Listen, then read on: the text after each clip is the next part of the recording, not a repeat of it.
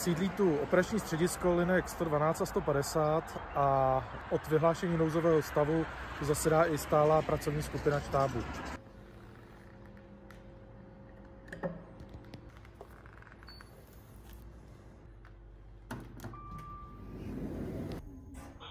Podlaží.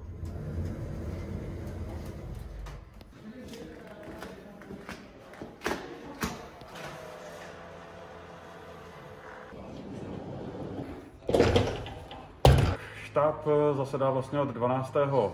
března, eh, kdy eh, to bylo na základě vyhlášení nouzového stavu a současně situace v Pražském sboru, kdy jsme měli 31 pozitivně testovaných, respektive toho 12. jsme měli teprve dva první.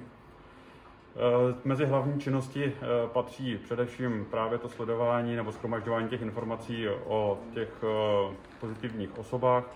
To trasování jsme se nějakým způsobem rozvrhli do téhle podoby, kdy díky tomuhle pavouku jsme schopni sledovat vlastně jednotlivé kontakty jednotlivých osob. Štáb hasiči Praha.